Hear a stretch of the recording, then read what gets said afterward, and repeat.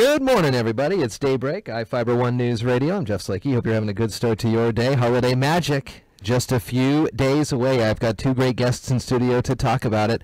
We have got uh, Carolyn Olsen and Amy Cooper. Morning. Morning. How are y'all doing? Good. Wonderful. Oh, good, good. Holiday magic, exciting. Let's see, the lights are up uh, uh, all around the city, and we're getting closer and closer to Friday night. The tree lighting is at 6, and that's just one of the big things that's happening. Absolutely. That's right.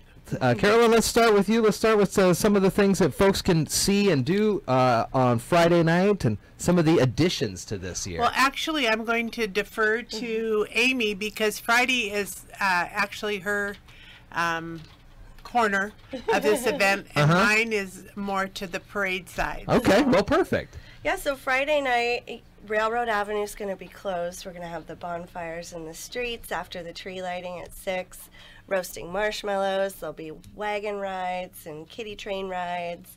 There'll be all sorts of activities. The Merchant's Game Card starts all day Friday. So you can come down early and start working on the game card. We've got 28 merchants participating this year.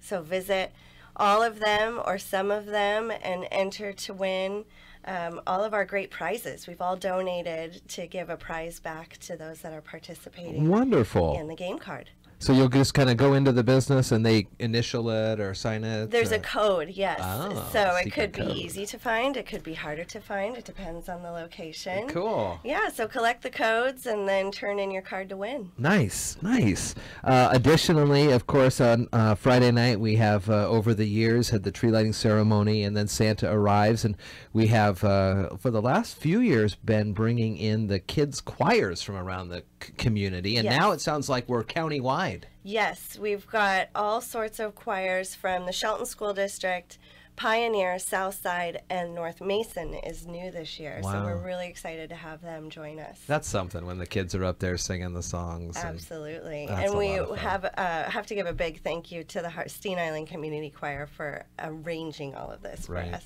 That's a that's a lot of work. Also, um, part of the event is uh, Chief Moody will be flipping the switch to the tree lighting. Oh yes. that is provided by PUD three, and they hang all the lights and um, they- around the gazebo also, right? I'm not sure. Yeah, I think so. Yeah. I think so. It's it'll be beautiful this Have they year. been putting them up? I, I haven't been over there in the last couple of days. The trees Been trees up, hard. ready to go. Yep, Yep. it's all up, all up and ready to go for Friday night. Well, Darren's a good guy to do that, the Mm-hmm. tree lighting ceremony. Yes, he is. Let's move to the parade then. The parade has over 50 um, participants this year. I believe last year we had 52, so we're, I think, going to go over that. The, um, as I was telling you earlier, the cutoff date was November 17th, and they're still streaming in, and Patty is getting calls every day for people who want to come. So I believe that it will be one of the biggest parades that we've ever had. Oh, we just have to pray there's no rain.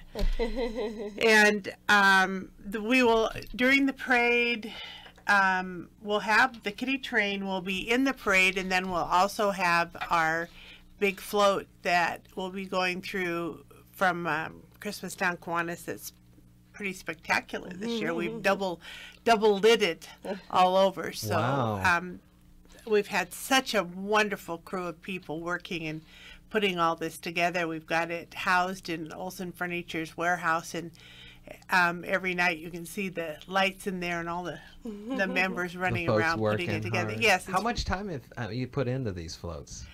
Uh, well, this is um, probably a good 15 hours Wow. into the float with probably 15 people.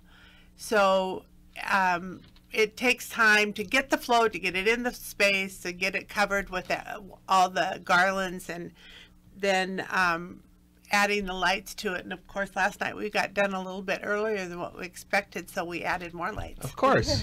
because we wouldn't have you? them. Yes.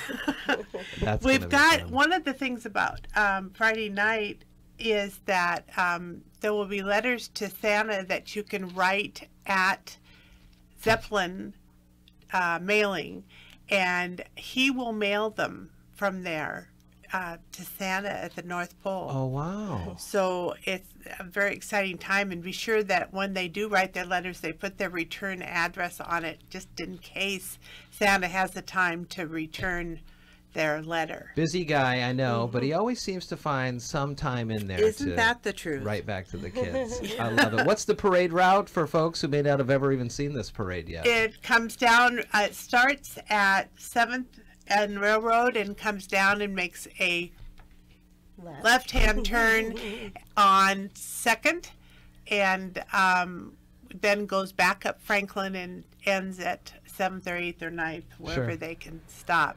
But we will have mounted. We'll have um, horses in the parade this year, and um, many wonderful floats. Oh, so we're good. really very happy about that. That's always a lot of fun. Uh, before that, too, folks are running in the Mistletoe Mile. There's information on that. You can get a lot of uh, more information at SheltonDowntownMerchants.com. Also on their Facebook page. We'll put the links to that when we post the interview on our Facebook page. So it all starts uh, Friday all day with the Merchants game cards, and then you uh, there's a movie being played I too. just was going to tell you Yeah. that. Yes. Movie, free movie. It starts at 4 p.m. on Friday. Yeah, you just need to bring a canned food donation over to Shelton Cinemas. They're going to be showing a Muppet Christmas Carol. oh, that's a good one. Yes. And there's games at C3 Okay. for kids who don't want to be um, walking up and down the streets, I guess. Sure. Uh, getting the numbers. And um, letters to Santa. I'm going up my list really, really fast because it's a big event. um, fire pits, marshmallows at the fire Marshmallows pits, at the fire pit. which is very fun. And that's all I have. It really is a nice community event. You know, when they shut down the streets and people are able to mill about and stop by, warm up. Yes. Cocoa spots. Yes, there's one at usually at um, uh, Fifth Street, Second Street. Second Design. Street Design will Okay. have cocoa. A lot of, streets. a lot of the merchants will have refreshments and things like that, so you can usually pick up something somewhere. Oh, good. it all starts Friday as uh, downtown Shelton is transformed by its holiday magic. The tree lighting is at 6 with a special.